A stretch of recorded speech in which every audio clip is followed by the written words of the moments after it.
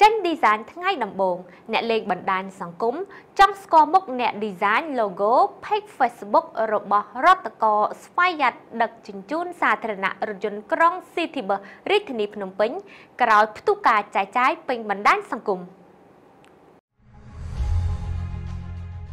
ទឹកបរិសុទ្ធ Blue Sea ទឹកអង់ទីអុកស៊ីដង់ជាទឹករ៉ែធម្មជាតិ100%ទំនាក់ទំនងទូរស័ព្ទលេខ087 332 938 077 356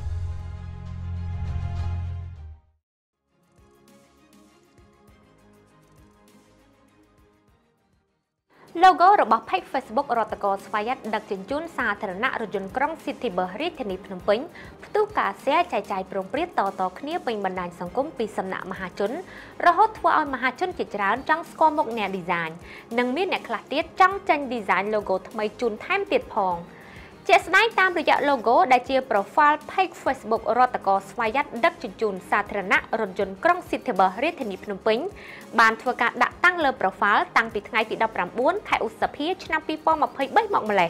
ក៏ប៉ុន្តែភ្លាមភ្លាមហាក់មិនសូវមានអ្នកចាប់អារម្មណ៍ទៅលើការរចនានោះទេចម្លែកអ្វី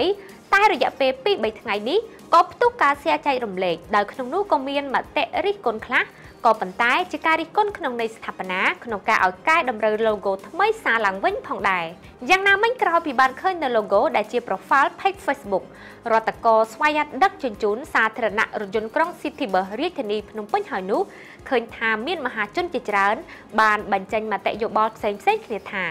admin ជះលុយជួគេតិចទៅខំបងពុនមួយឆ្នាំមួយឆ្នាំមិនតិចទេអាណិតចិត្តខ្ញុំផង admin ឲ្យអ្នកជំនាញរចនាឲ្យស្អាតមួយទៅ logo នឹងអ្នក design បានរៀនអត់ឬក៏យកក្មេងទៅតែរៀនមក design 2023ចិត្ត2024ហើយអ៊ំមិនយក logo ឆ្នាំ97មកដាក់អញ្ចឹងអ៊ំពិតជាស្នាដៃដ៏ជំនាញនិងមានទេពកោសល្យរបស់អង្គភាពពិតពិតរូបភាពឡានក្រុងគ្មានស៊ីរូបភាពខាងក្រោយសំបីតែបន្តិចគ្រាន់តែ remove background ឡានចេញនិង insert រួចជាការស្រេចចង់ឃើញអ្នក design ដល់ហើយ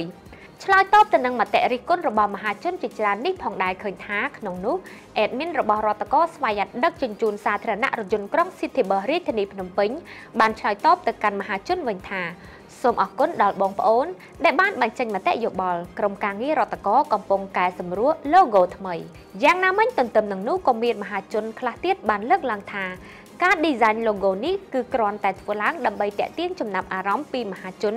និងជាពិសេសធ្វើឡើងក្នុងន័យឲ្យប្រជាពលរដ្ឋនៅក្នុងរាជធានីភ្នំពេញបានស្គាល់និងផ្ដោតការចាប់អារម្មណ៍ទៅលើការប្រើប្រាស់សេវារថយន្តក្រុងសាធារណៈឲ្យបានច្រើនដើម្បីកាត់បន្ថយការកកស្ទះចរាចរណ៍នៅក្នុងរាជធានីភ្នំពេញតែប៉ុណ្ណោះ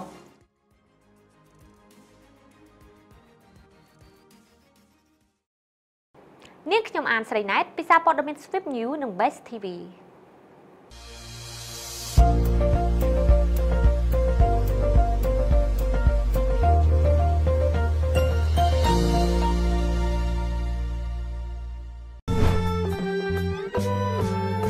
Swift News Best TV ព័ត៌មានក្នុងដៃអ្នកមហាជនលើកឡើងថាផឹកកាហ្វេ Freelance ញ៉ាំនំប៉ាវផ្ដាច់ជីវិតខណៈស្ត្រីម្នាក់ដែលជាអាជីវកររៀបចំតុនិងកៅអីឲ្យភ្ញៀវអង្គុយបែបនេះ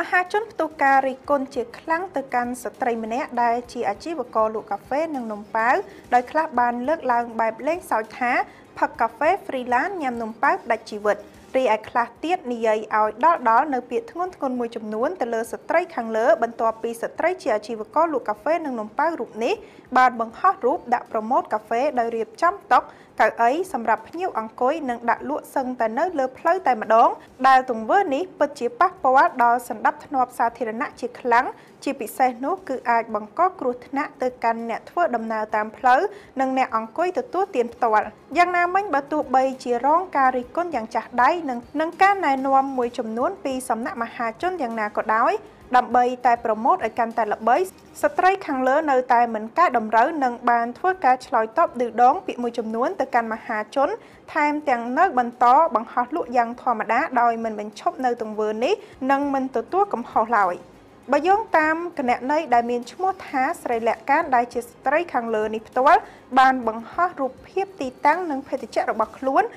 ដើម្បីធ្វើការប្រម៉ូទលើបណ្ដាញសង្គមដែលរូបភាពនេះផងដែរគឺជាទៀមកាហ្វេដែលមានយីហោថាស្រីពេជ្រកាហ្វេដូងក្រអូបនិងទូនំប៉ាវរួមជាមួយកៅអីដាក់សម្រាប់ឲ្យភ្ញៀវអង្គុយទទួលទានដែលស្ថិតនៅលើផ្លូវតែម្ដង។តាមរយៈការបង្ហោះនេះផងដែរបានធ្វើឲ្យមហាជនអ្នកនិយមលេងបណ្ដាញសង្គមនាំគ្នារិះគន់ហើយរិះគន់ទៀតដល់ថ្នាក់ខ្លះទ្រាំមិនបានឈានដល់ការប្រើប្រាស់ពាក្យមិនសមរម្យទៅលើទង្វើនេះនិងការរកស៊ីបែបនេះ ដោយខ្លះទៀតមិននិយាយអ្វីច្រើននោះទេតែបាននាំគ្នា mention page របស់ក្រសួងពាក់ព័ន្ធចូលតែម្ដងដោយមហាជនភាគច្រើនបានចែករំលែកនិងបញ្ចេញមតិលេងសើចថាសុំអាយឡាតេស្ករ100ម៉ែត្រទិញកាហ្វេមួយកែវផឹកដល់ជាតិក្រោយផឹកបណ្ដាមើលក្រោយបណ្ដាខ្លាចកិច្ចមិនទាន់បើទៅអង្គុយផឹកនៅតូបមិនដឹងប្រលឹងហោះទៅស៊ីប្រលឹកដល់ណាទេនេះបានគេហៅថាកាហ្វេឋានសួគ៌ពិតពិតរបស់គេមែន អស់មួយកែវធ្លាយដល់ភពផ្សេង កាហ្វេថ្នល់ជាតិផឹកហើយល្មមចាប់ជាតិថ្មី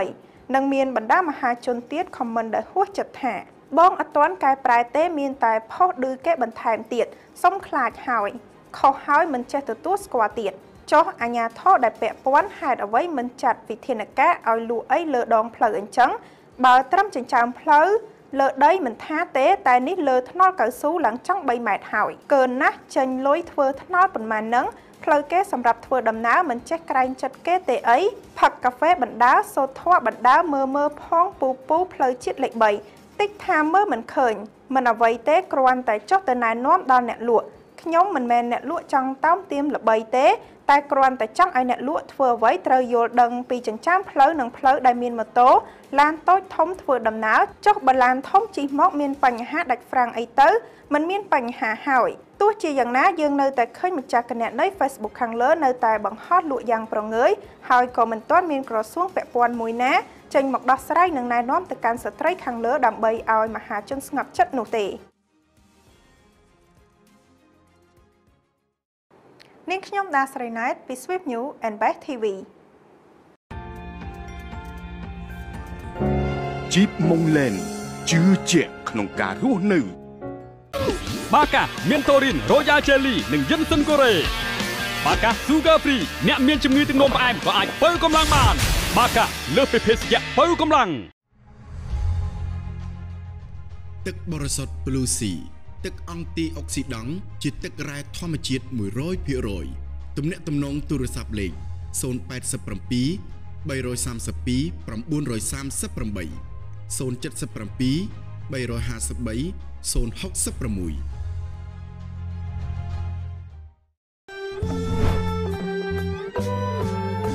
Swift News Best TV ព័ត៌មានក្នុងដៃអ្នក